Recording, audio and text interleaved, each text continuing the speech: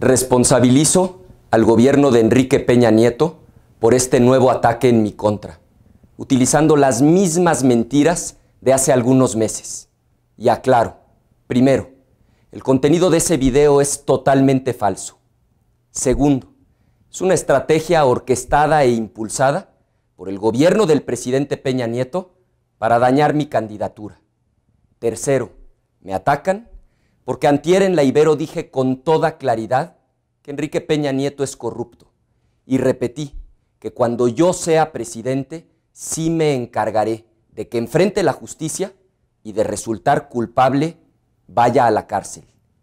Cuarto, y también me atacan porque denuncié que Enrique Peña Nieto y López Obrador ya pactaron.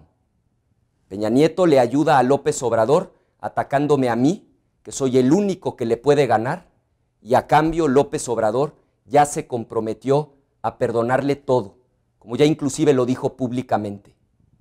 Sé que la guerra sucia en mi contra ya no va a parar de aquí hasta el día de la elección.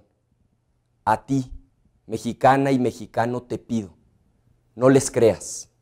Y a usted, presidente Peña Nieto, lo responsabilizo de mi seguridad y de la de mi familia. No me va a doblar, no me voy a rendir. Vamos a ganar, México va a cambiar.